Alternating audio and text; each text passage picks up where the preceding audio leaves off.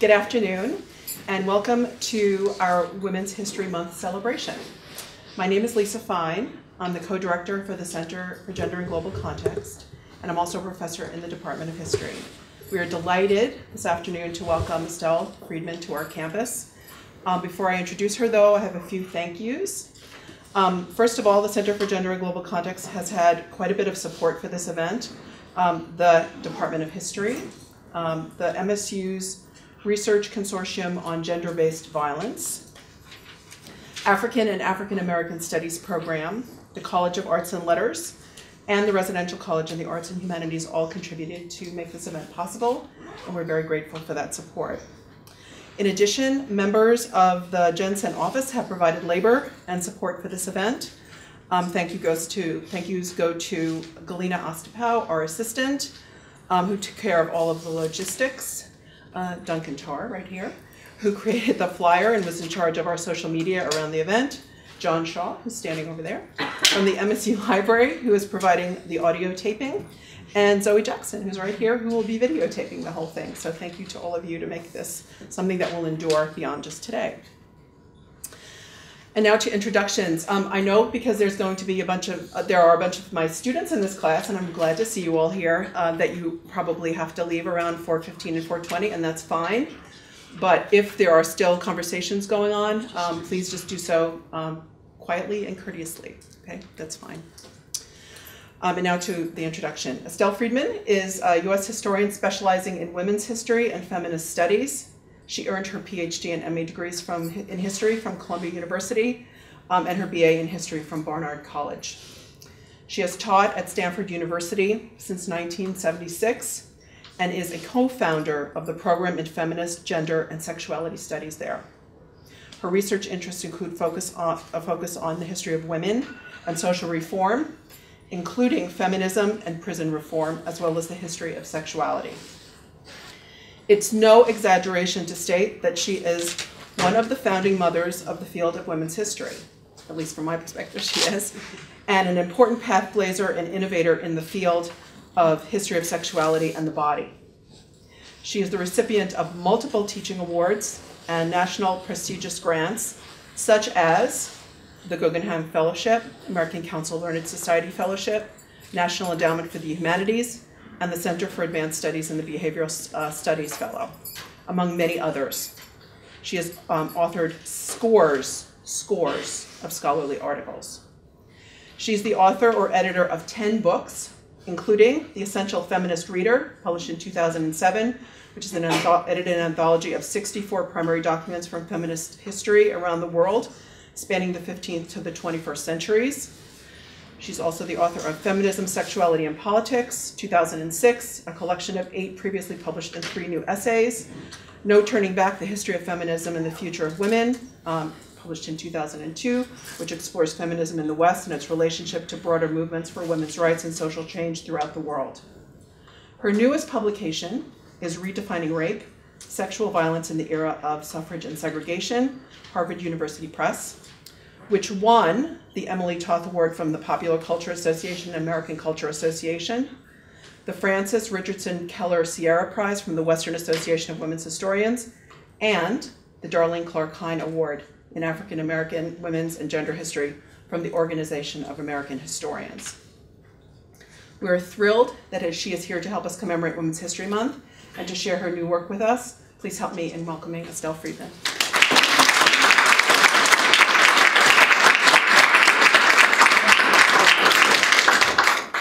Thank you very much, um, Professor Fine, and thank you all for being here today.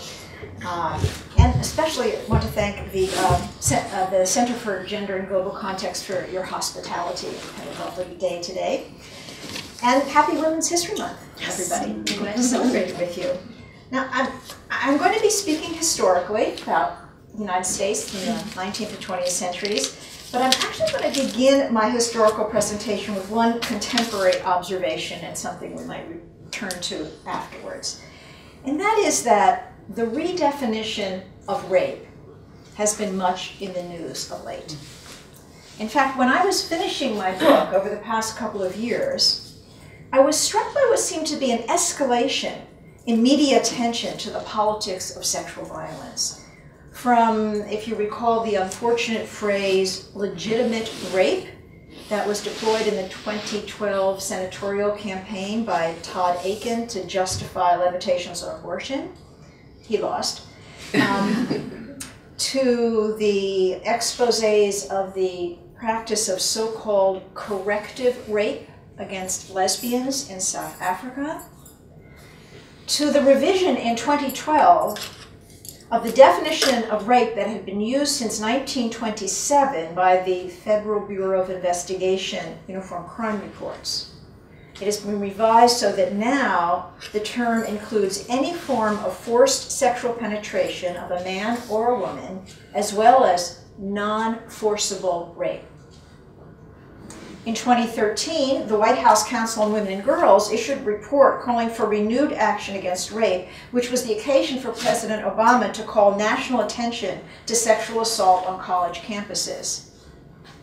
And in 2014, the California legislature, followed by New York State, redefined sexual consent as a positive statement of yes rather than a negative refusal of no. Now, I could go on with contemporary redefinitions of rape, including naming wartime rape, and I think immediately uh, not only what is happening uh, under the control of ISIS, but also the recent exposes of rape by UN peacekeepers in Africa, uh, or the redefinition of what once was considered implicit consent, as we see in the Cosby trial we may be living in a moment of particularly intensive scrutiny of the legal and cultural meaning of sexual violence. But I want to show you that challenging the definition of rape has a very long history in the United States. One that has left a significant legacy for the ways that we think about the subject today. And so this afternoon, I'm going to recount parts of this history, focusing on the late 19th century and the early 20th century, a time when both women's rights and racial justice advocates contested the then narrow understanding of rape, namely, as a brutal attack on a chaste white woman by a stranger, typically and increasingly portrayed as an African American man. In narrating efforts to expand that meaning of rape, I'm going to highlight three key points that run through my book. First, the historically fluid concept of rape. Second, its relationship to citizenship. And third, the particular historical contexts in which legal changes have occurred, as well as their limits. My first point, to say a little bit about each point before I go into my story. My first point, the fluidity of the definition of rape. Now, this would seem obvious for those of you who study history, things change, but I think it's worth reiterating that rape is a highly malleable category in law and in culture. Different societies define which non consensual acts they will condone, which they will criminalize, and then how forcefully they will prosecute the latter category.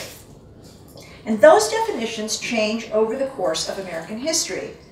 Even as they change, though, keep in mind that powerful legacies of earlier constructions of rape continue to influence law and practice for generations. Now, for the record, the Anglo-American definition of rape in the 19th century was the carnal knowledge of a woman when achieved by force and against her will by a man other than her husband. For a child under the age of 10, the law did not require force or in principle raise the question of consent. Over that age, both violent physical force and proof of physical resistance were critical in court to proving rape, as was the prior chastity of the accuser. In the American context, rape law exempted not only marital, but also master-slave relations. And even after emancipation, the presumption that black women could not be raped long persisted. Now, I will be discussing efforts to change these meanings, but I also want to give a corollary to the point about the fluidity of rape, and that is the influence of structures of privilege in revising the definition and prosecution of this crime. Who lived in fear of being raped? And who lived in fear of being accused of being a rapist? These have depended heavily on social hierarchies, most clearly of race and gender, but also of age and of ethnicity. From the late 18th to the late 19th centuries, for example, the dominant cultural understanding of which men posed the threat of sexual assault changed. From Indians to white desperados and tramps to southern blacks. And the latter category is a process I'll refer to as the racialization of rape. Although the legal definition remained narrowly heterosexual, by the early 20th century, new immigrants and homosexual men came to be seen as threats to boys. By uh, each of these constructions, I will argue, deflected attention away from sexual crimes committed by elite heterosexual white men. So that's a, just a point about fluidity. My second and related theme is that the changing definition and prosecution of rape in American history has been critical to the construction of citizenship. And I mean by that, who was to be included in and who was excluded from privileges and obligations such as voting, jury service, office holding, as well as access to due process of law. Let me explain how this works, this connection to citizenship. So first of all, on a practical level, the exclusion of women, African Americans, and certain immigrants from voting, lawmaking, and courtrooms, whether as jurors, lawyers, even as observers at times, excluded. All of those exclusions contributed to the immunities enjoyed by white men when they were accused of having seduced, harassed, or assaulted women of any race. They were the ones making the laws, enforcing the laws, acting as the judges, jurors, lawyers, etc. So this exclusion of certain groups, this lack of rights, lack of rights, made those groups vulnerable to both rape and to rape accusations. So that's practically how citizenship interacts. Then there's the rhetorical level. The constructions of black women as always consenting, white women as duplicitous, and black men as constant sexual threats all justified the very limitations on citizenship that reinforced white men's sexual privileges. For women and African Americans were seen as lacking the morality and the self control necessary to citizenship. In short, our understandings of sexual assault contribute to the boundaries placed upon rights, reinforcing the economic inequalities that these boundaries have historically sustained. I also address a third theme, and that is why certain groups contested the meaning of sexual violence when they did and to what effect. And I've identified a series of challenges to the dominant definitions of rape, particularly on the part of white women and African American men and women, during what I call the era of suffrage and segregation in the late 19th and early 20th centuries. For in this period, each of these groups mobilized to gain inclusion as full citizens, whether in the women's suffrage movement or in black resistance to Jim Crow segregation and disenfranchisement. Now, those groups formed no unified movement. Uh, they were racially parallel rather than cooperative efforts. Uh, the political actors employed a range of the strategies that are available to disenfranchised interest groups. Uh, they had to rely on the media, on um, signing petitions to legislatures, on legal advocacy, advocacy in the courts, as well as seeking more powerful allies in their effort to contest the dominant understanding of sexual violence. Now, at times, some of them succeeded in revising either legal or cultural definitions of rape, but often with very mixed results, as I'm now going to illustrate with three sets of examples. First, uh, start with women's rights, then I'll turn to racial justice, and then to child saving. The earliest critiques of female sexual vulnerability took a variety of forms, but as a whole, I think they illustrate both the political insights and the political limits of white women's efforts to expand the definition of rape beyond the narrow scenario of a violent attack by a stranger. Let me start in the antebellum decades before the Civil War.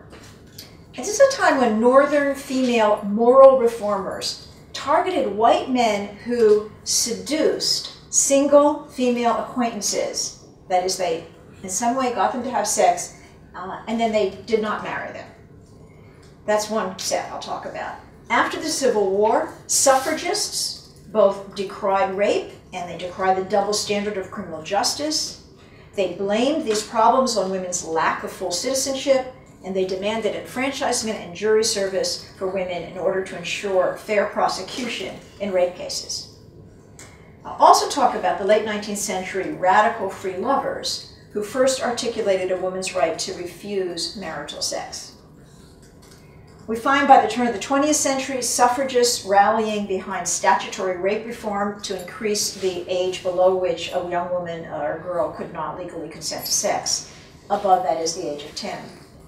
Now, all of the things that I'm going to describe, you'll see, target white men's sexual privileges, but none of them question the concurrent racialization of rape that I'll be discussing after. So the northern white women who began to rethink the requirements of force and resistance in the prosecution of rape, did so in the early um, 19th century within a context of really heightened attention to the meaning of female virtue. A chaste reputation was becoming requisite for a middle class woman to be able to raise virtuous children and foster morality within her husband.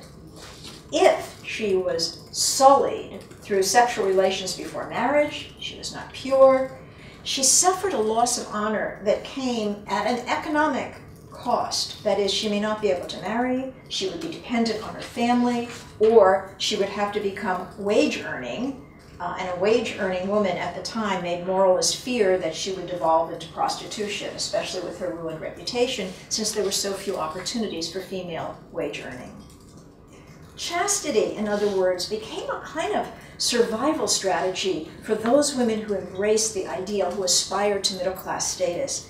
And seduction represented a threat to maintaining that status. And so we see, beginning in the 1840s, moral reformers, many of them intent on staunching the spread of prostitution in cities like Boston and New York, beginning to petition state legislators to increase the penalties for seduction.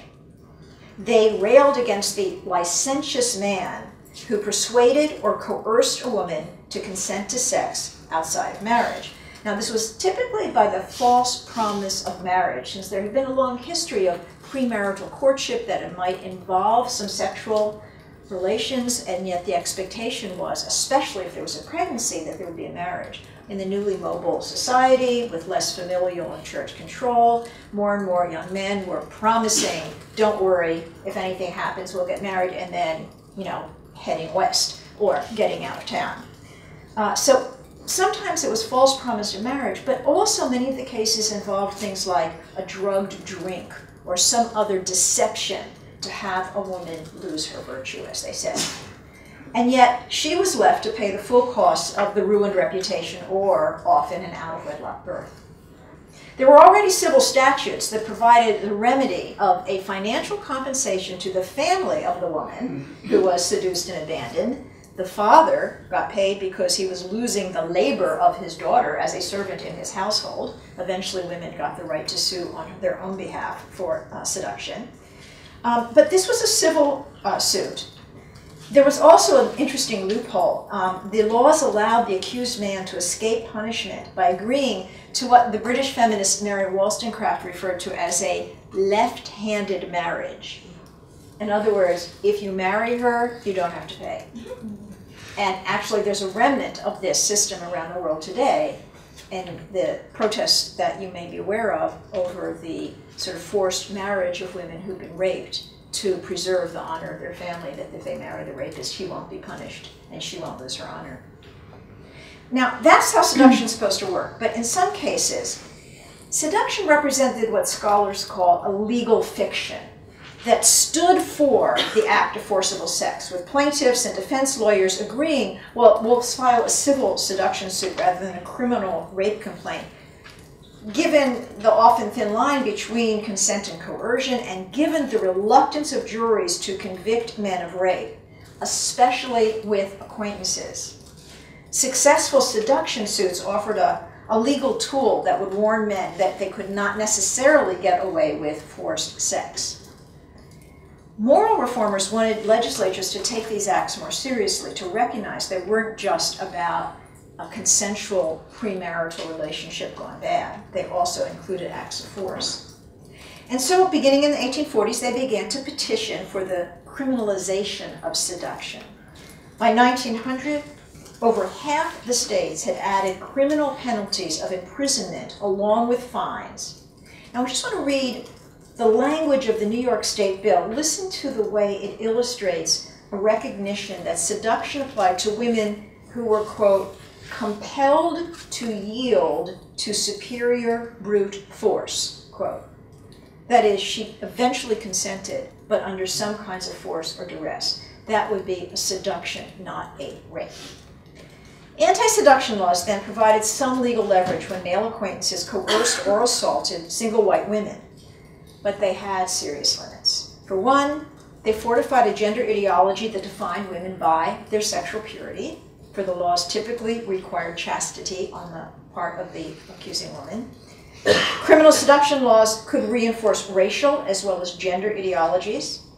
They applied almost entirely to white women, given stereotypes at the time about black female immorality. They further contributed, I believe, to the racialization of rape because Think about it. White men accused of rape are more likely to be taken to court for either attempted rape or seduction, which implies somehow that they weren't violent, forceful crimes. While African American men were more likely to be the ones seen as the violent rapists.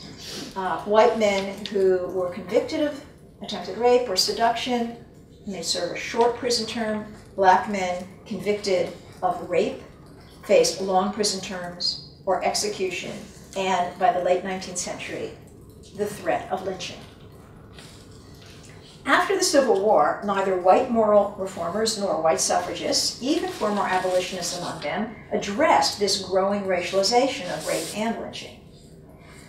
But the sexual abuse of white women and the double standards perpetuated by courts during rape trials did provide grist for the suffragist mill. As the title of an article in the suffragist journal, the Woman's Journal, explained in the 1880s, and I quote, Women's deprivation of rights, the source of men's crimes. Only full citizenship, the paper repeatedly insisted, would prevent the physical and sexual violence that suffragists Lucy Stone and Henry Blackwell cataloged in their newspaper column, which was called Crimes Against Women.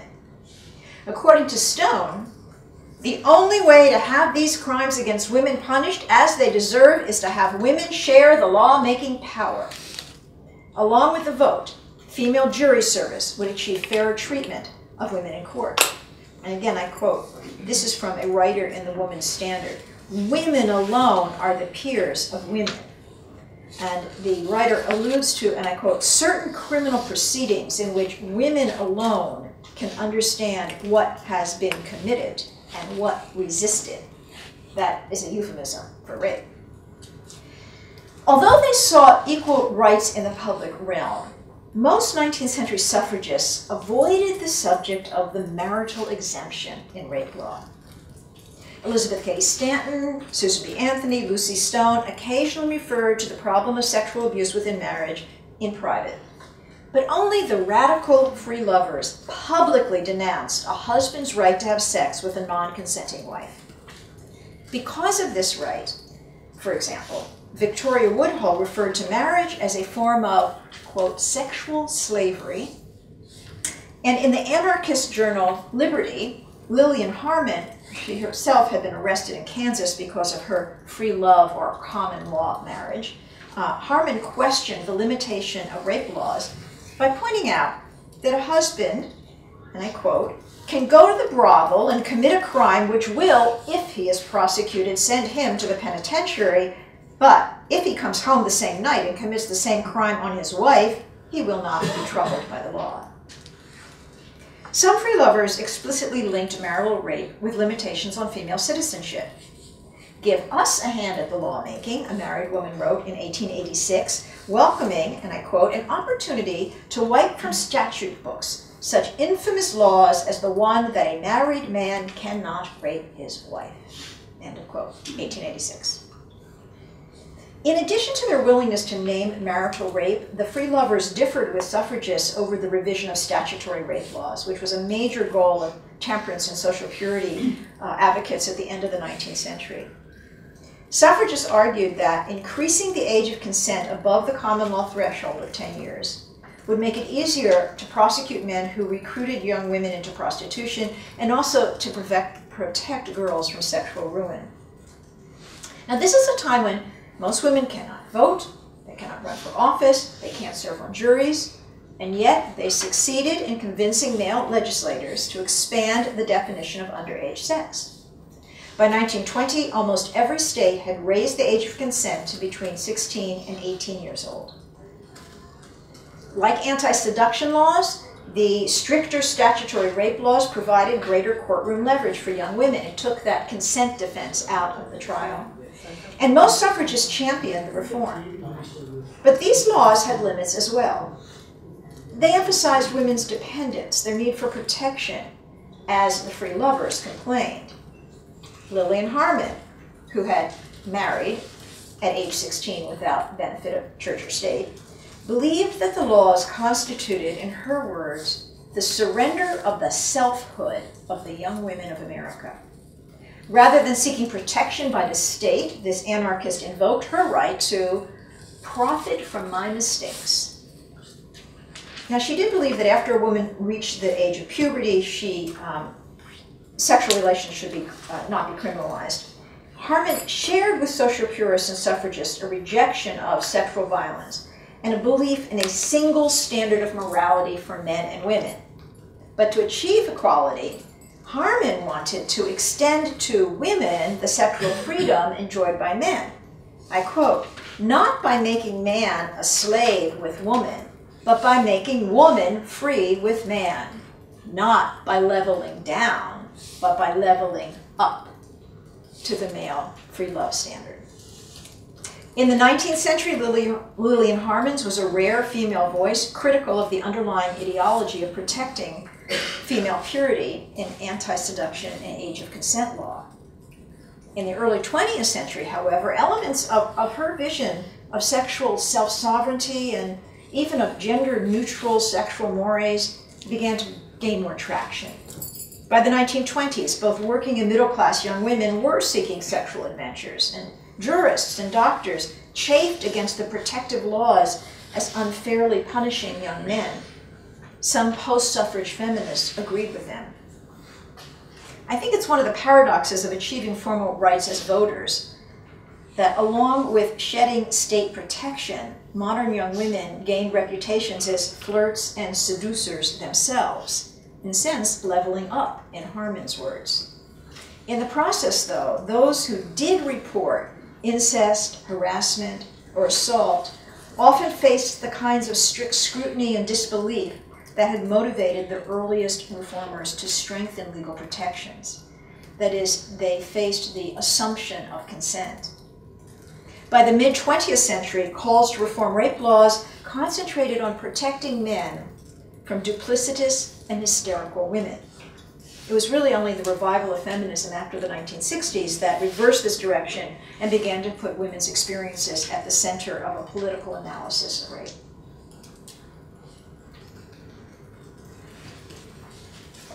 White women tried to redefine rape to include nonviolent and coercive relationships with acquaintances. But black women and men, and this is my second example, faced far greater challenges in undermining the racial construction of sexual violence. So deeply had the racialization of rape taken hold in American law and culture. Views that black women had no moral virtue to defend or that black men posed a constant threat to white women's purity justified the exclusion of African Americans from full citizenship after emancipation.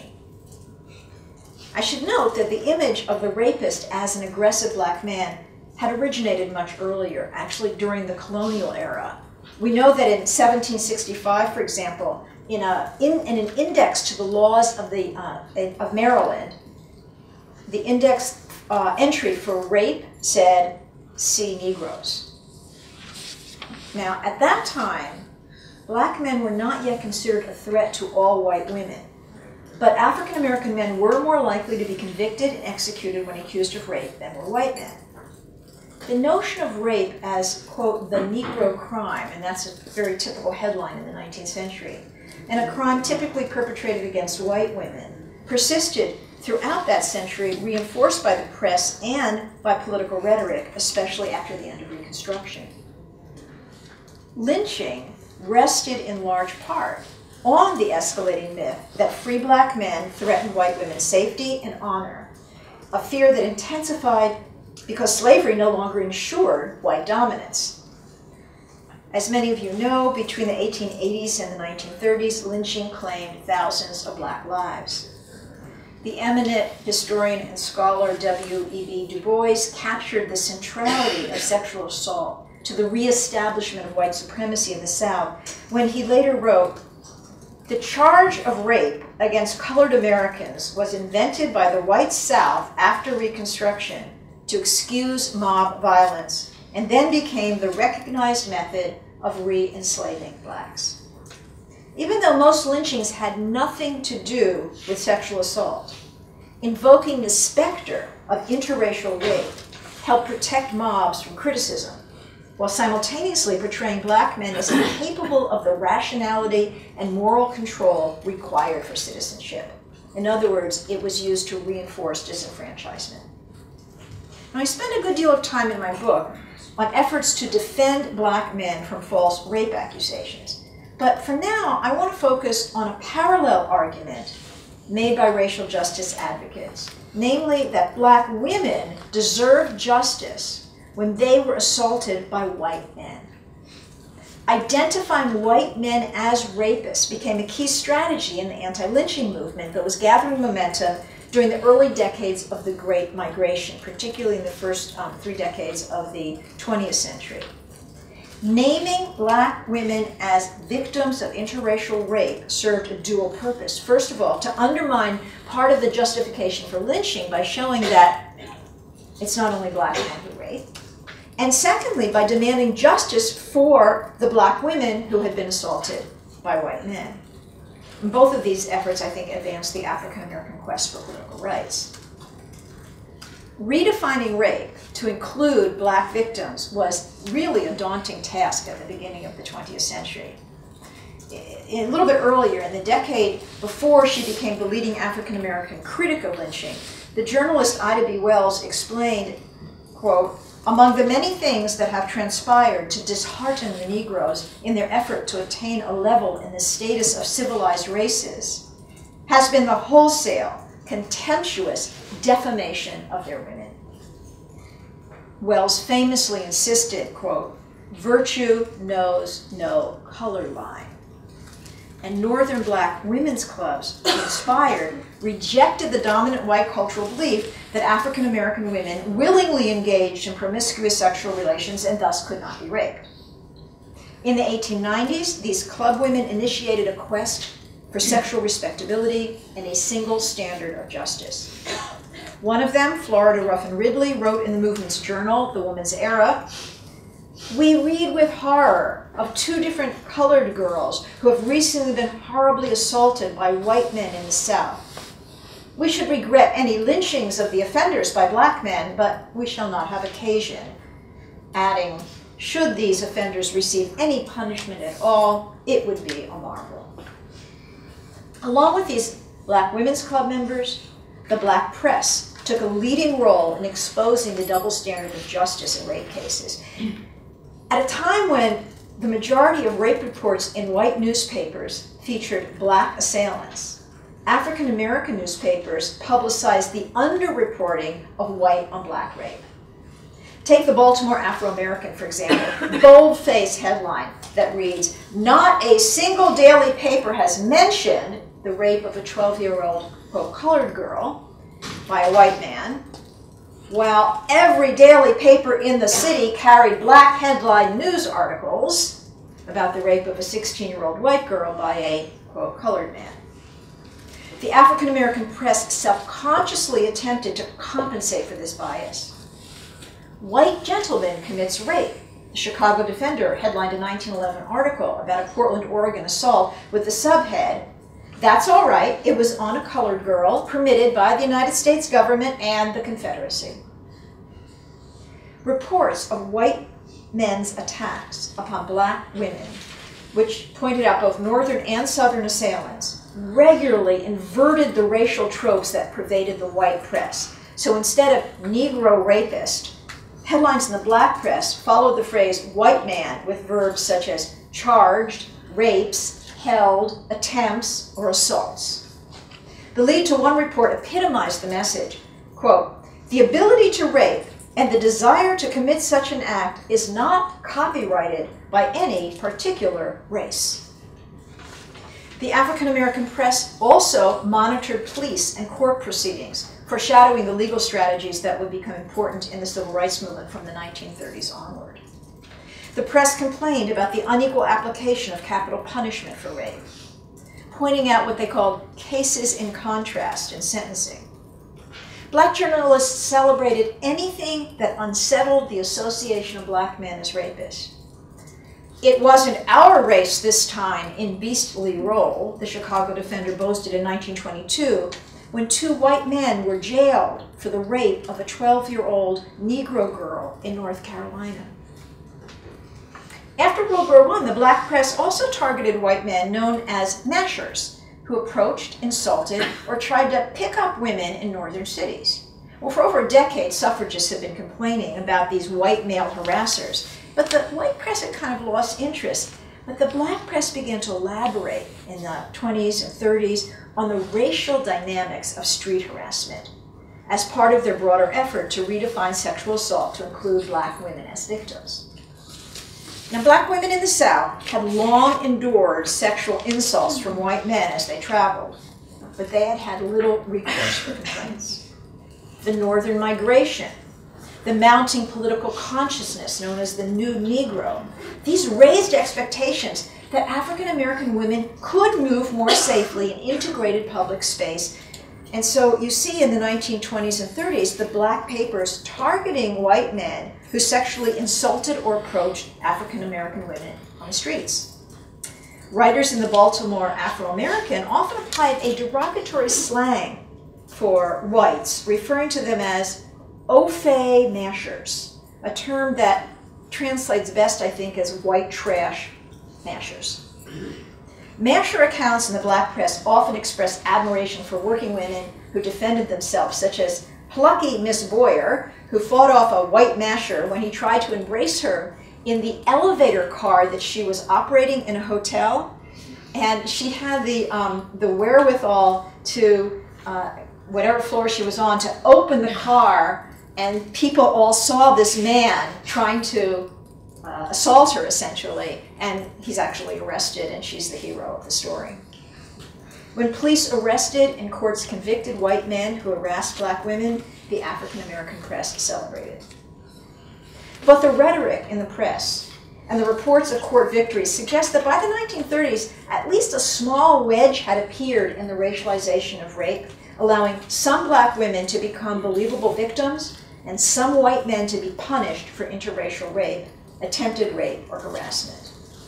The naming of these assailants served the goals of the larger anti lynching movement, simultaneously empowering African American women's quest for sexual respectability and sexual safety.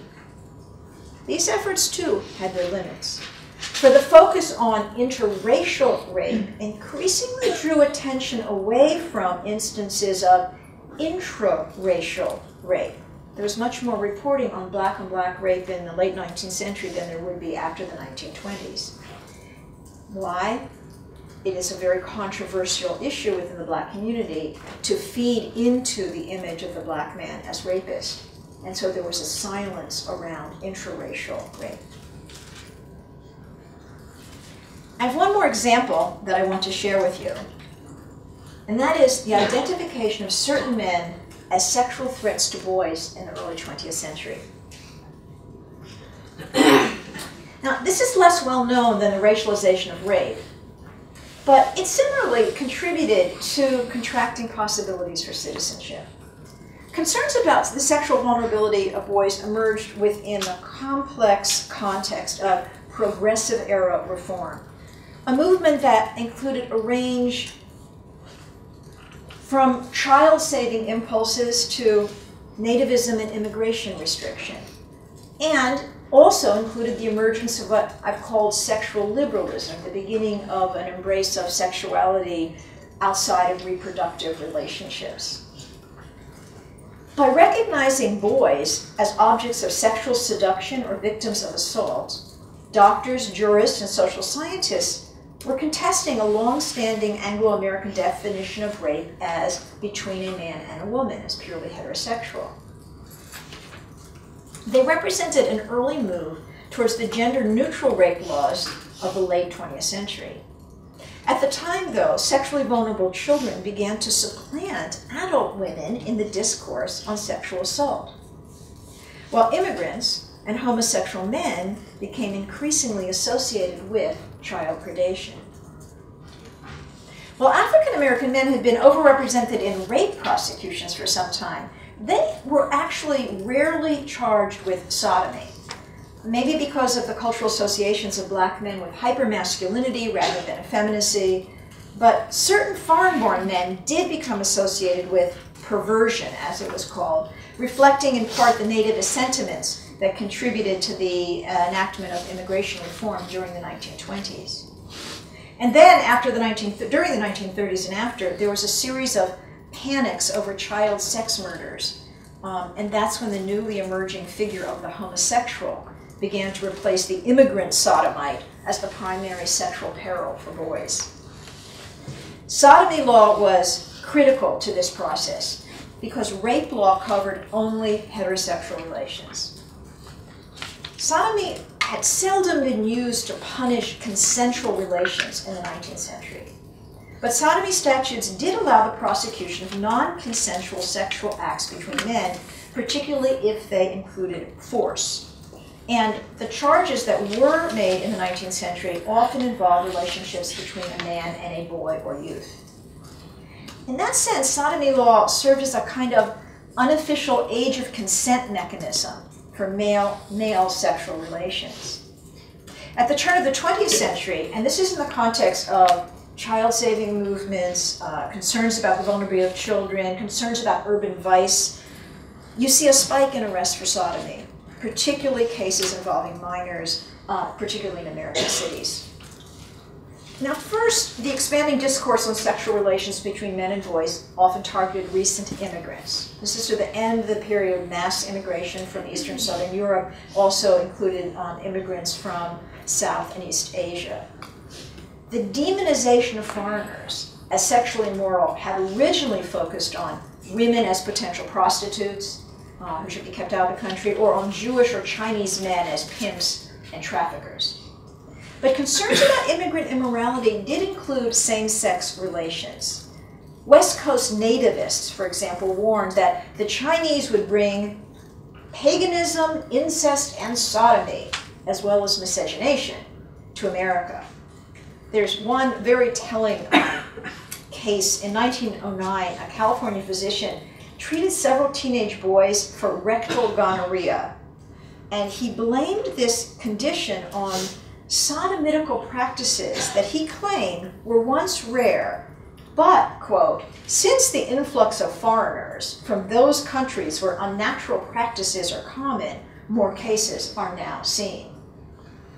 Attributing to immigrants a penchant for sexual perversion drew upon ideas of the early sexologists such as Richard von Krafft-Ebing uh, from Germany, whose theory of racial degeneracy associated perversion with what he called primitive races, the lower classes, and poor immigrants.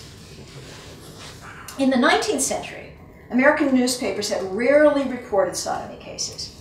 But during the Progressive Era in the early 20th century, the press occasionally exposed queer subcultures, covering incidents such as a 1912 Portland, Oregon sex scandal. There's, there was this big police crackdown um, and dozens of men, most of them white middle class men, were arrested for sodomy. Some of them have been socializing together in private drag parties in people's homes. The, although the youngest of those arrested was age 19, the press and the court highlighted the danger posed to youth. Some Oregon politicians called for harsh punishment, including the sterilization of perverts. And one Portland resident suggested that authorities were being too lenient with the men. A letter to the editor of a local paper stated that, quote, if these degenerating practices were committed by Greeks or Hindus, end of quote, there would have been calls to drown them in the Willamette River. In fact, Greeks and Hindus were more likely to be seen as perverse male predators.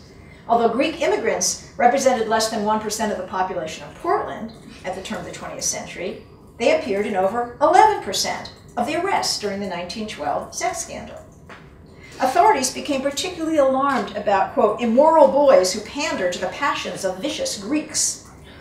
This association um, may have formed because Mediterranean cultures allowed some physical and even sexual relations among men, or because skewed sex ratios among primarily male immigrants from Greece and Italy, like those from China and South Asia, might create the opportunity for some sex, same-sex relations. But whatever the source of this idea, the insinuation of perversity could have serious implications, in influencing eligibility for entry into the US and ultimately the possibility of citizenship. In the early 20th century, Sexual perversion itself was not an explicit basis for excluding immigrants, but officials found reasons to deny entry to those they suspected. Uh, for example, a doctor who was examining a young Greek man in 1912 warned against admitting those with deformed genitalia because, quote, they may be sexual perverts. There was a big um, U.S. Immigration Commission report in 1911 uh, on the traffic in women concerning about prostitution and trafficking. And the report called for stricter restrictions in immigration, quote, applied with even greater rigidity in the case of men. Immigration officials lamented the fact that moral perverts, as they called them, were not specifically excluded by the law.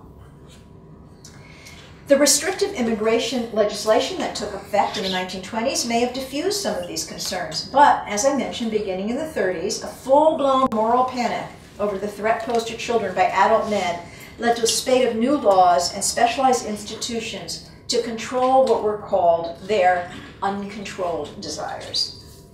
The ethnic child predator began to give way to the sexual psychopath, portrayed as a white man who needed psychiatric attention rather than prison.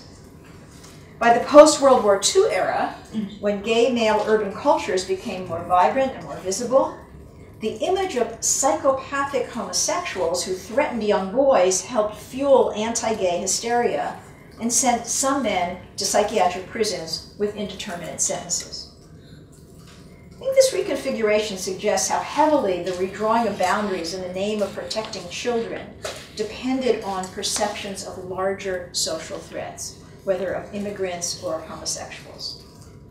Like the demonization of African American men as violent rapists, the associations first of certain new immigrants and then of homosexual males with child sexual abuse masked other forms of assault committed by native born white men including heterosexual rape and incest. And I think this history also helps explain why, by the end of the 20th century, for example, in response to the Anita Bryant Save the Children campaign of the 1970s, rejecting the association with child predators would become important to the gay rights movement. I have surveyed women's rights, racial justice, and child saving influence on past redefinitions of rape. I hope that in doing so, I have convinced you of the fluidity of the concept, of its relationship to citizenship, and to the complex legacies of any efforts at reform. In our own time, as I mentioned at the outset, the term rape has expanded to include non forcible as well as violent acts. committed by and upon members of any gender or race, regardless of marital status. Men who once enjoyed immunity from prosecution by virtue of their social status, I'm thinking here of clergy, teachers, coaches, now face closer scrutiny about their abuse of girls and boys, of young men and women. Despite this attention, it's clear to me that earlier constructs remain deeply embedded in our culture and that the benefits of the redefinition of rape have been unequally distributed. The underreporting of rape, the racial profiling of perpetrators, the ethnic stereotyping of immigrants, the silencing of sexually abused children, and the victim blaming that attributes assault to women's clothing or their past sexual histories all persist. Today, however, the protests waged by those once on the political margins seeking citizenship have turned into mainstream policy debates. And I think it's not surprising that female and minority legislators have taken the lead in calling national attention to sexual violence, for example, in the military and on college campuses. And it is not surprising that in the wake of the revival of feminism after the 60s, a dedicated anti-rape movement emerged, gaining momentum just when women gained greater political and economic authority. My research suggests strongly that contestations over the meaning of sexual violence will continue as long as social inequalities, particularly those based on gender and race, characterize American life. In the meantime, past definitions will continue to haunt rape reform at least until we recognize the depth of their historical legacies. Thank you.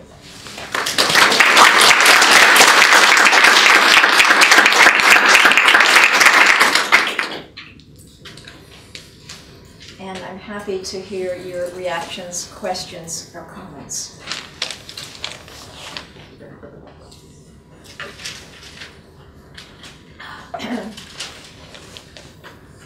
especially the students in Professor Fine's class. Guys. Did, did you say there was extra credit for asking No, a question? no, I'm just, just a lot of encouragement to it. Yes, I'm not a student, sorry. that's quite all right. No apology needed. Gain more um, excitement if I, I break the ice. Um, you mentioned that this was a talk, and um, is I'm professor in London Briggs and uh, the history department. You mentioned race and class, and that was beautifully done.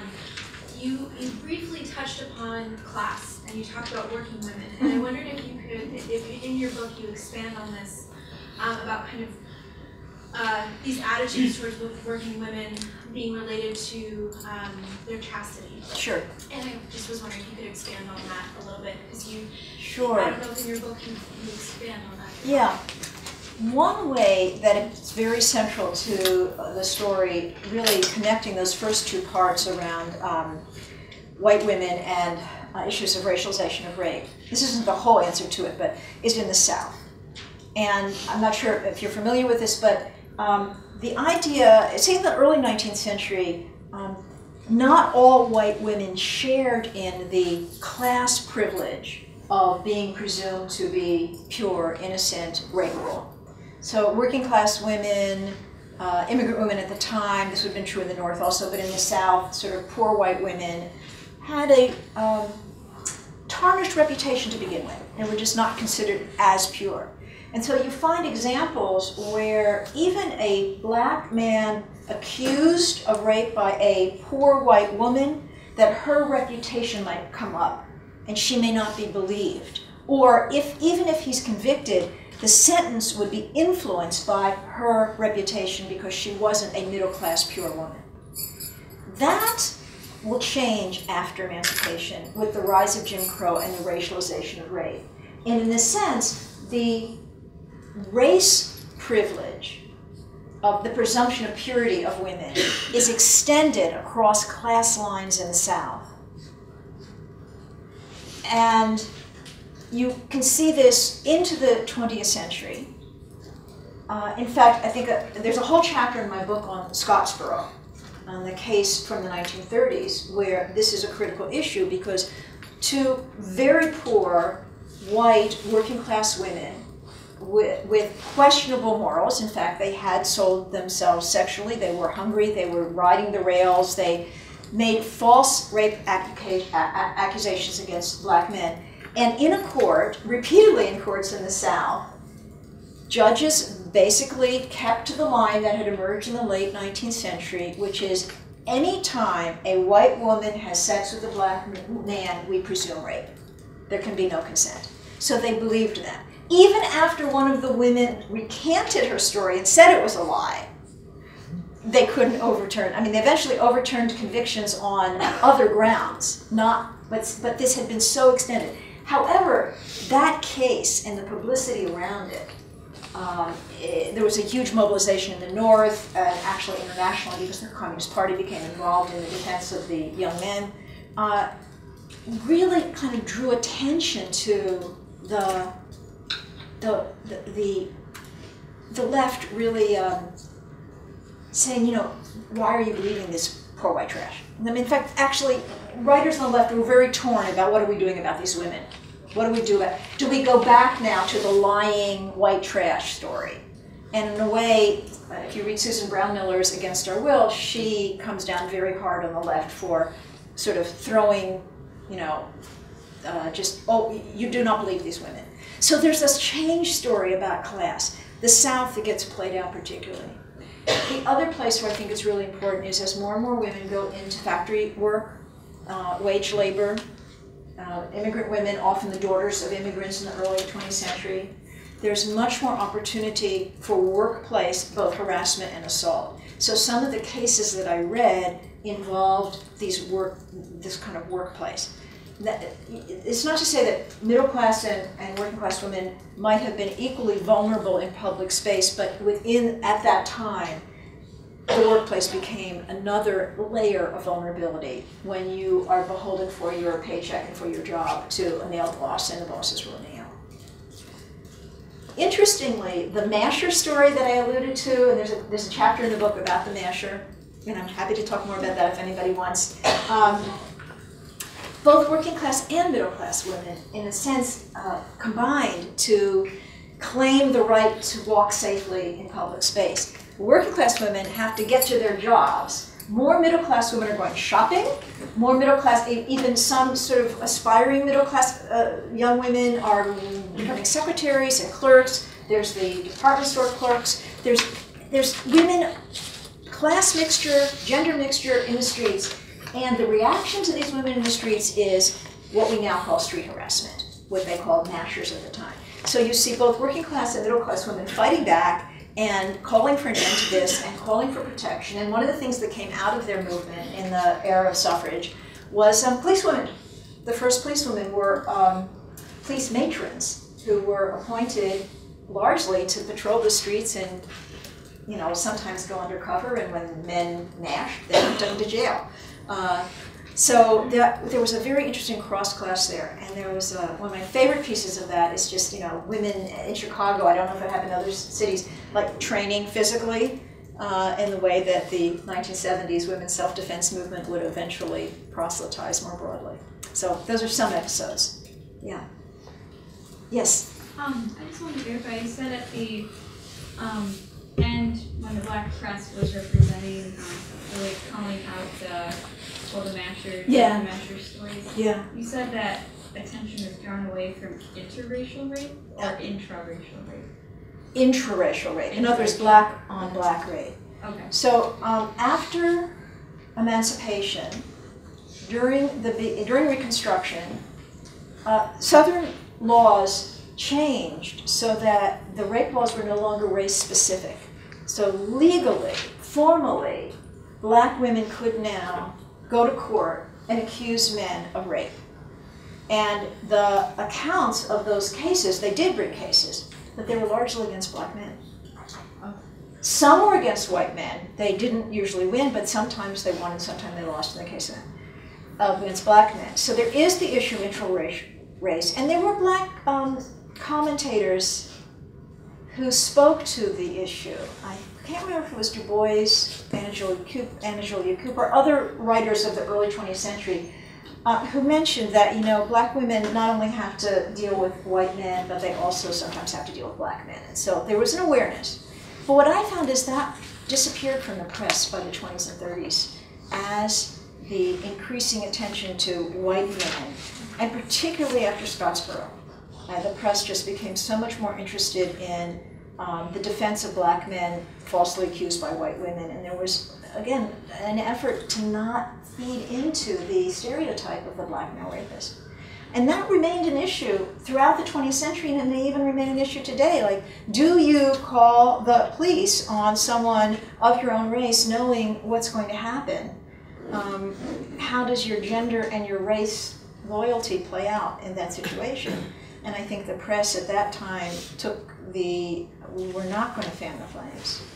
So I, the larger point is every time you call public attention to some form of this act, what are you calling attention away from?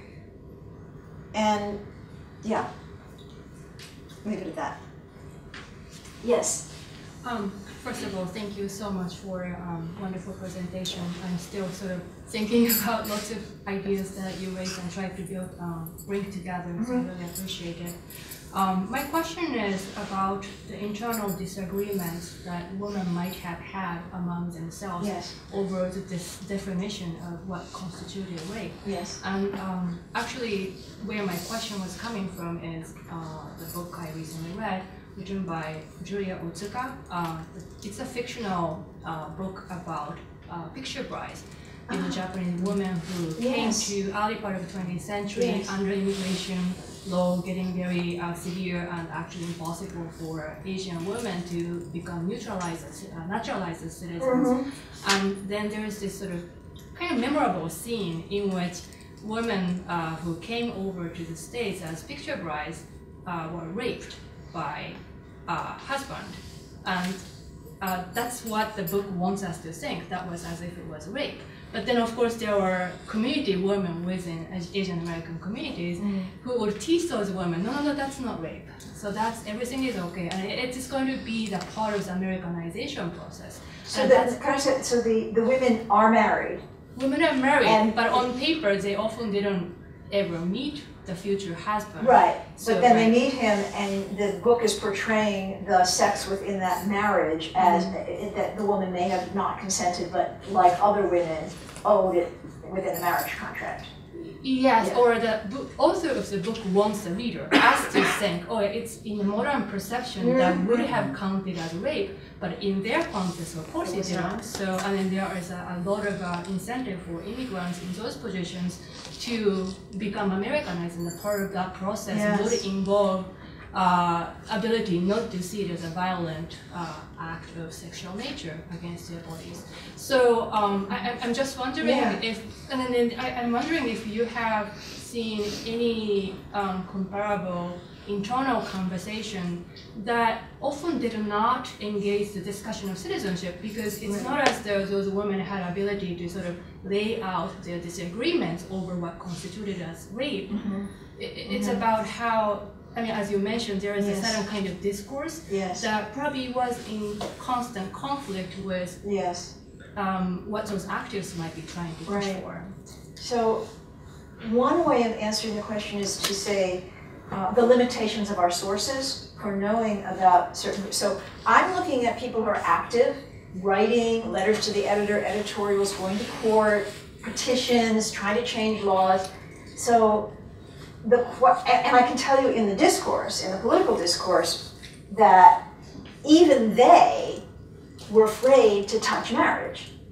That's what you know because they're asking for suffrage. We are unpopular enough. They're claiming that the vote is going to think everything will be topsy turvy and men won't have any power. And there's this cartoon in the book where I showed during the suffrage movement where they portray the, the rape of the Sabine women, uh, the founding of Rome, and they show the women being the ones carrying the men off, and when women get suffrage, they're going to do to men. So they're so afraid of turning things topsy turvy. And the family and marriage is so sacrosanct even these political actors don't want to question non-consensual sex in marriage. So I know that from the sources that I've seen. But I don't know in the family or in an immigrant family what the conversation was, what the mentality was, what the negotiation was. And the fiction writer today may have diaries or sources that the writer has been able to see and may have more insight than I do. But that would be a challenge for me to say historically uh, within those communities. But it's a great question to ask um, about citizenship, to add to the mix, which is here's your ticket to, well, actually, you didn't have a ticket to citizenship because those men were not citizens. They were Oh, oh, they were Japanese, that's right, they're Japanese, so they could, gentlemen's agreement, have social citizenship. Chinese men could not at that time. But, okay, so here, for at least the Japanese picture brides, this could say, here's your ticket to citizenship. You have to have sex with this man, whether you want to or not. But as you're saying, you have to Americanize it, or you have to do what everybody does here. Would it have been different in Japan?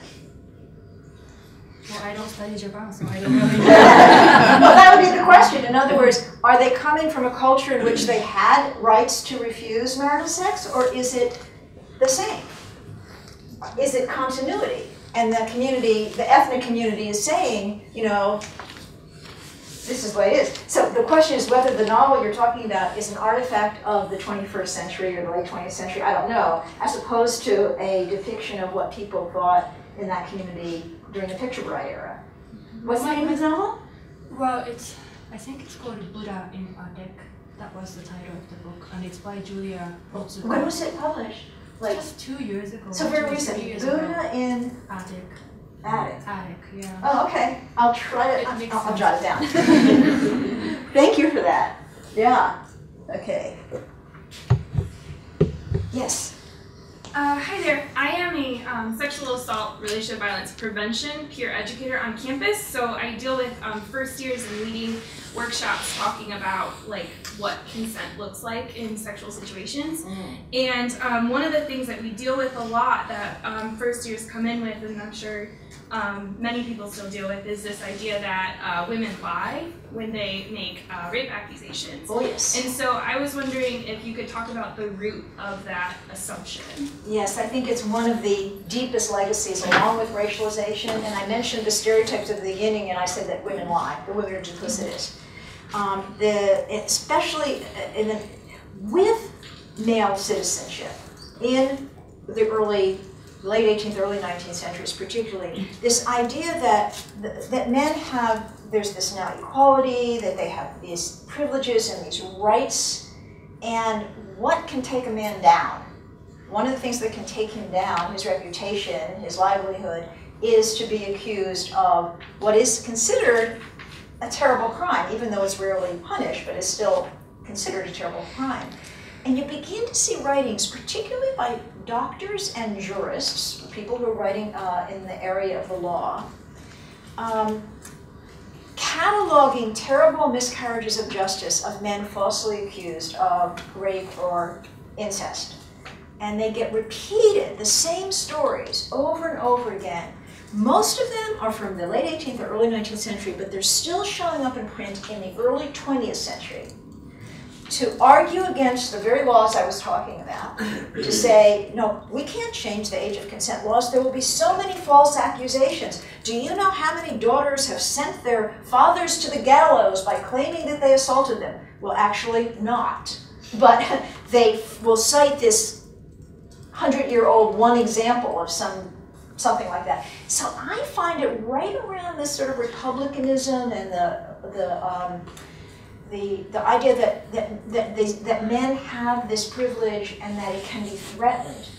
Um, we see this even today, how sex scandal, well, less so today, but it, you, until very recently, how do you bring someone down from a position of power? Sex scandal, um, rape charges particularly. Why is there, I mean, it's been incredibly effective defense. You know, one, consent, she, she, she agreed. Uh, she lies that she didn't agree, or just that she lies that it was me, or that she lies that it ever happened. It's been very powerful. Um, there was a case in around 1801, 2, 3, somewhere in there, very early republic, and a libertine, a somewhat elite man. He's got money, he's got style, he's on the streets, and he picks up, this, or he, he meets a working class young woman. Uh, it's kind of a well known case. Uh, and he takes her somewhere, turns out to be a brothel, he gives her a drink, he has sex with her, she's ruined. Her father brings charges, or she you know, goes to, to the police. He's tried. And his defense lawyer literally says to the jury, Are you going to believe her? Are you going to believe him? We have, and I quote, the life of a citizen in the hands of a woman. In other words, are you going to take away the rights of a citizen? She's not, she's just a working class woman. And they, um, they don't protect him. And there's a working class riot. I mean, the people are so angry because they see this as class privilege, not just you know, a gender assault, not just a sexual assault. But I just think there's something going on at that time about preserving that, that new manly privilege. But then it just becomes part of the legacy. Um, and a lot of the cases that are cited in the journal literature uh, come from Europe. They keep claiming that oh, men's lives are at stake here. The death penalty for rape is eliminated in the 19th century uh, actually, it's not, for most states, it's still there as, it's used for black men. It's not eliminated entirely until the mid to late 20th century. But for the most part, there is not, there, there are very few executions, whether the, the penalty is given or not, for men for rape. And yet there this, there's this story going around that women have it in their power to take away the life of a man or to ruin the life of a citizen by this lying. So I, I, just see it right around that time, and I can't pin it down any better for you right now, but I do think it is related to that disparity in, um, in citizenship and the fear of what power do women have. They have this power take you down. Mm -hmm. Yeah, I'll have to think more about it. Yeah. Hi, so um, in response to the um, kind of the uh, statement that there's a culture of disbelief against women who report being raped. Mm-hmm. Um, being here on a college campus, I've heard things such as, um, in response to conversations of rape, such as, you know, she brought it on herself because of what she was wearing, or she should have known better. Mm-hmm. And so it seems like some people assume that a woman should always expect sexual advantages and blame them for being naive if something happens. Mm-hmm. So I was wondering how we could um, change this culture of blame on women. Yeah. So one thing is we can't just as women change, who has to change? Men. I mean, that's a one word answer there, but a whole culture has to help that happen. And so, training men and women, I mean, the kind of work that you're doing, um, particularly from the minute they get here, um, sort of explaining where some of the right myths come from and trying to you know, actually, you might want to use some of these terrible historical quotes that will make men look so bad that they won't want to say these things anymore, you know, from the old cases. Um, and the judges and like, yeah. But um, really, I think that one place, the key place we have to start is not just when you get to college, but it has to be so much earlier in families, from the time children are very small. It has to do with respect for women in all realms. You can't just isolate sexual assault mm -hmm. and solve it. The more you can create a culture of respect and a belief in inherent human value, regardless of all differences, including gender, sexuality, et cetera, et cetera. The more you can create that kind of culture, the easier it will be to pull the rug out from some of those myths. Um, I'm a mere historian, but I really think that the arts have a huge role to play through theater, through culture, through music. Um, so often I will talk about something in my class and they'll say, yes, there's this, you know, Beyonce said this, or um, oh, it's just like you know, the, the, the, you've got to see this video. The, the the power. I mean, I don't know. I have to confess, I cried watching the Academy Awards when um, Lady Gaga sang the song from The Hunting Ground. I haven't seen the movie. I can't comment on how accurate it is, but just and I cried at the thought that millions of people around the world were hearing about what happens in campus assault and what it does to people. You know, um, so I just think that there's a huge role for speaking out, for creating culture that makes people empathize and understand. Um, and you know, this is a question that's interdisciplinary, so I would actually like to open it up to others in the room who've thought about how do we undermine this legacy? What do we do now other than slut walks and you know I, I, I, love seeing the men who come and support or walk in the slut walks. Um, i realize they're controversial in some places. Um, on my campus this year the multicultural sorority sponsored the slut walk um, and made race central to it. Um, in addition you know what are you doing on this campus or what do you want to see in the world to try to undermine these, the victim blaming the her fault stuff. Yeah. Hi, um, my name's Kitty. I'm a sociology major. And I think a huge part of it is talking about gender and masculinity. Um, obviously, masculinity and hypermasculinity, as is portrayed in media, between boys going through puberty, high school, college, and the expectation that you have to be a man and you know give the woman and stuff like that. Yeah. There's a lot of violence related to that, and rape as a form of violence and a weapon of war and things like that is really scary and we need to talk not just talk to our girls like not just talk to our girls we have to talk to the men too yeah.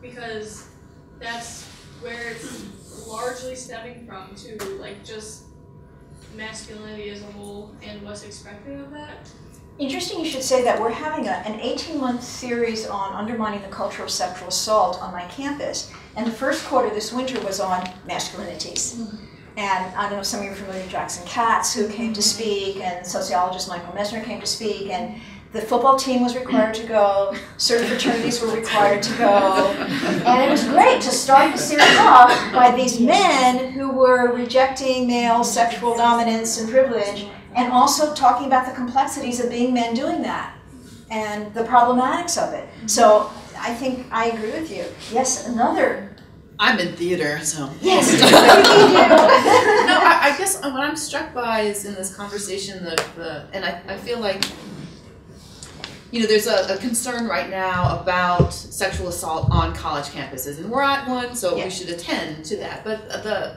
from what I understand, and I may be, you know, looking at some old numbers, but that um, you know most people don't go to college, mm-hmm. um, and so even though we're talking, we have this emphasis on the college as a site for sexual yes. assault. It's actually very much skewing the dialogue yes. and the concern. When I mean, most people are assaulted by someone they know. Not at college. Mm-hmm. Um, the life. average age of a child, so-called prostitute, is like 13. Mm-hmm. So we're really, I mean, we're having this conversation yeah. about this kind of flashbed site. Yes. But I mean, I, I was thinking also about you know what it actually took for Black women to be recognized as victims of sexual assault. That doesn't happen until '75. Mm-hmm. The Joanne Little case, Bernice Johnson Reagon plays a mm-hmm. big role mm-hmm. in her rallying cry. You know. Uh, I forgot the song. Sorry, I would sing it, but I don't remember. Joanne is Joanne, Joanne is me. Yeah, our prison is the whole society. society. Yeah, it's the opening of my first book. Yeah, exactly. I love it. I love it also.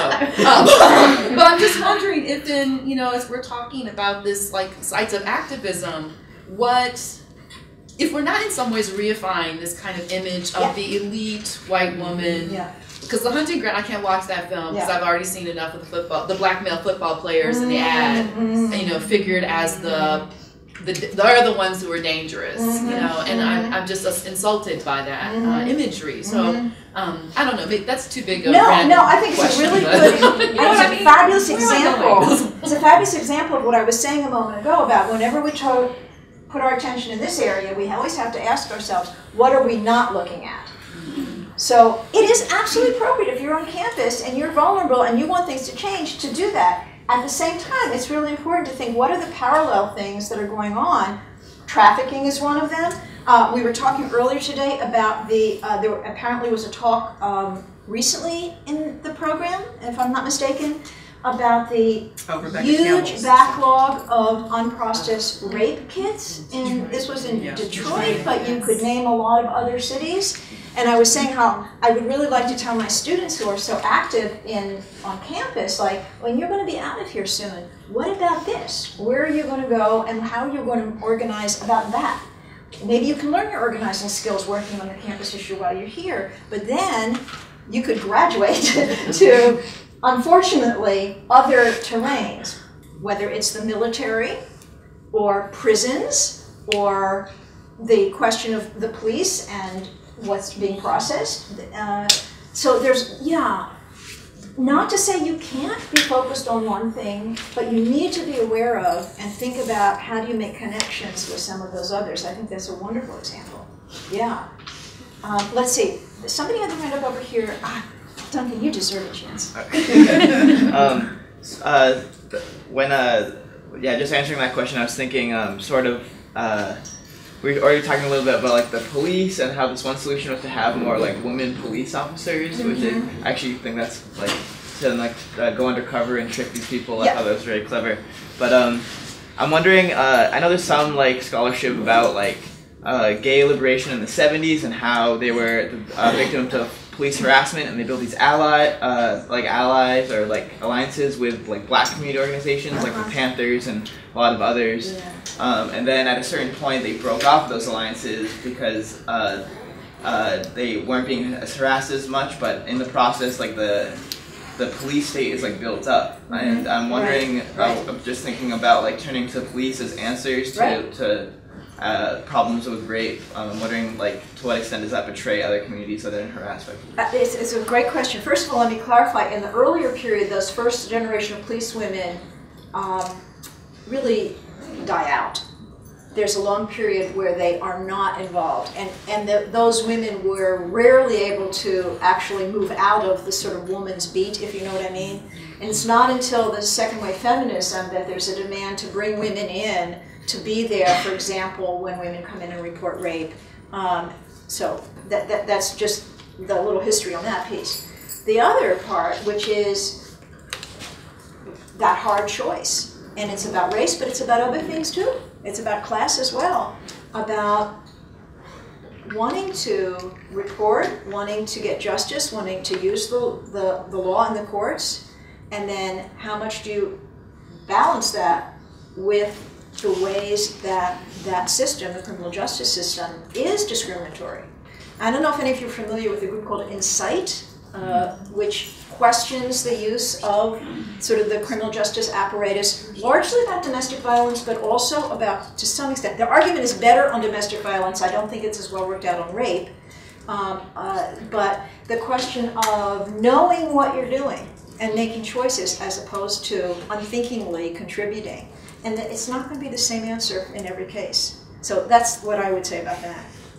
Now, there were some hands on this side of the room, one here and then one here. Yes. Um, I'm an elementary education major, and I see, like, touching on before how we were talking about parallel, mm-hmm. um, how to include a talk of sexual assault in um, through all the mm, sorry, it's been a long day. Um, through all the realms, mm-hmm. and it's really important. At least in my, I work in an elementary school, and it's really pivotal to kind of.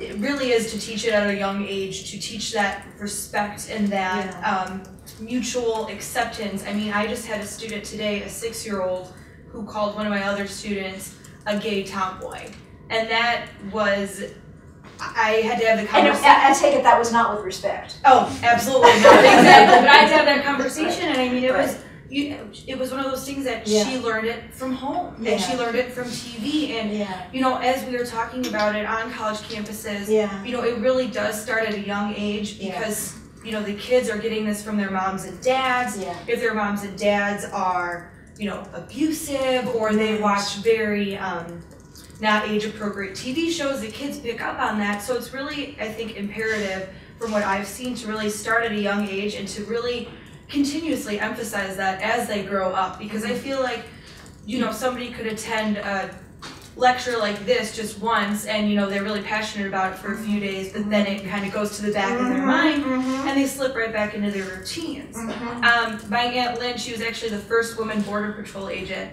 ever so that was pretty cool but um, she told me that when she was going through the class, you know, even though she was supposed to be respected and she was actually outperforming a lot of the other males mm-hmm. in her group, that they were continuously like bringing her down and talking down to her, even though they, they were in their 20, late 20s, early 30s, and she just was telling me about how there's just still the lack of respect, even though they had like classes to be like, oh, hey, now that Lynn Hansen is part of this, you know, we have to kind of take her as part of the group. You know, it's not about gender anymore. And so I was just wondering how you would recommend kind of implementing uh, kind of a continuous respect through Yeah. even just our environment in general. Because I know we're doing some things on college campuses like we were talking Right. about, but I, I'm not really that familiar with things that maybe would even like touch on children because I know some people might think that's inappropriate. How would you? Yeah, so it's not my expertise, but the first thing I want to say is when I talk about what do we do, thank you for going into this field. We need you. and we need to keep that part of the brain going forward so that throughout your career you can find people to ally with and make change. Um, I think it's, again, not just about we focus on sexual assault. That's part of the package, but um, not maybe for six year olds, but certainly somewhere before they get to junior high school, by the end of primary school, they need to learn about sex in a different way than they've been learning about sex. I don't know if anybody saw the Peggy Orenstein piece the other day Yes. uh, for, from her new book. Uh, I don't know what the book is called, but you know what what children learn about sex is terrible. I mean, it's either nothing or the worst. And I mean, I, I I hate having to go out and just say, here's what's bad, don't do this. You know, it's not even just say no, and it's just like, people say, how are we supposed to say yes? We don't know how to say yes because we don't even know how to talk about it. um, what kind of communication is there? What do kids learn about self sovereignty, about their bodies, about respect for people? At what age do they begin to put together um, something more than let's be afraid of this bad thing? Um, that's not my field, but I, I think that finding people who do sex education in the broadest, most feminist sense, if you will, might be a good resource for a teacher. Awesome. And it, I don't know exactly what age you'll be working with, but even knowing what's coming down the line that they're going to be getting might help. Other, I just wonder if there are children's books. There are. And- There's actually a video about I think it was in the Netherlands, and they were teaching sex ed in kindergarten. Yeah. And it was amazing. I mean, they have this uh, statistics that you know their uh, amount of rapes and sexual assault Yes, like that is yes. like extremely low because there's that feeling of mutual respect that's Yeah. built up, you know, at a young age. And I think this was cited in the Orenstein piece too. I don't know if it, I can't remember was the Netherlands or some European country where they do compare. I mean, the United States is doing such a terrible job. We have much worse crime rates, much worse rape rates, all of these things, um, more than countries where there is sex education as opposed to abstinence education. Uh, so yeah, go for it. And you know, I don't know. You say the six-year-olds, but you know, you got to teach them. Actually, sex is better when you know what you want and get it, rather than you know, kind of pretending that it's a competition to get what somebody doesn't want. You know, when both people know what they want to get it. Yeah, yeah. Awesome, thank you. There was one here, and then one come over here. Yeah. Um, not to steal your spotlight, but I have some suggestions about this. This is kind of Please. what I wanted to talk about was um, when it comes to younger children, we don't teach consent in any form or bodily autonomy. Like as far as I don't want to be hugged right now. Right, right. Um, I'm 22 years old and my mom still says, "Oh, you need to give Uncle So and So a hug goodbye." No, I don't. I control my own body. I don't need to do that. I don't. I don't need to do that, mom. I have, I have autonomy. And we don't teach our children at all. It- Yeah. We teach our children, you know, especially our little girls. Oh, you know, Bobby hit you. He must have a crush on you, or he's uh-huh. ta- chasing you around the playground. Yeah. So that equates, you know, abuse equals love, and that gets instilled in children when Yeah. they're very young, and we need to combat that Yeah. and get rid of that and start teaching, you know, um, you know, if someone's touching you or hugging you or you know teasing you and you don't want that, you have the right to say no. And you know, I think I want to hear the rest of your question, but I think there's a great it would be a great project for somebody in education Yeah. to work on what kind of curriculum materials could we develop for early education to build the skill building ones, the trainer wheels exercises before you get to the actual sex part, Right. which right, will prepare base. you when that comes in. Right, Yeah. yeah, it's, it's Project for you. because there's Yeah. a lot, especially because there's a lot of, you know, con- conversations about like Yeah. teaching that young people, uh, that young, you know, preschool kindergarten about sex. Right. It could just be as simple as, you know, if someone is hugging you or touching you, and you don't want them to touch you, Yeah, you, they don't have to. You Yeah. can say no. You have the right to your own body. yeah. And did you have another point? you No, wanted to that- I make? just wanted to Okay, jump That's off great, of thank you, yeah. thank you. Yes, Yeah, I also wanted to respond to because there's um, the Unitarian Universalist Church has a like a curriculum called Our Whole Lives, which is a sex ed curriculum that starts in like first or second grade, and it's like very much age appropriate. Um, but it really teaches like the value of boundaries and respecting other people, and like you know it starts in second grade, so it has to be more so along the lines of that rather than like sex. But it goes all the way up until um, like adult education. Um, yeah, so that's a really great resource. Yeah, that's Um, great. Awesome. our Thanks, whole guys. lives from Mhm. Universalist Unitarians. Yeah. Fabulous. Yeah. Hold that down. Owl. Owl. Yeah, exactly. Any other comments or questions before we close? Well, thank you for what, come here, one last word. Yeah, The last word. I do have one, but it'll be quick. I think that when I think about talking about this type of thing within even the context of my own family, which is of course the most like safe and welcoming environment, the difficulty is that when we talk about rape culture, I feel as though, from my experience, we're demonizing men.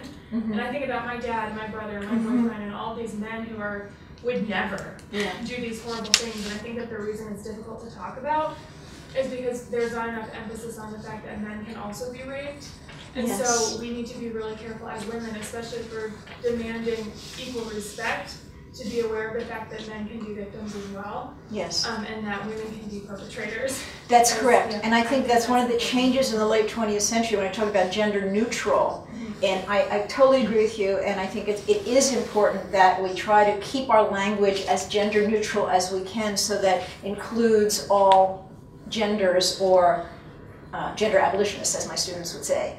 Um, and to realize it's about the abuse of power and the lack of respect for others. It's not just about male female. However, historically, the numbers have been so skewed that I think, going back to the earlier comment, we do have to think about masculinity and get all those good men working on that project.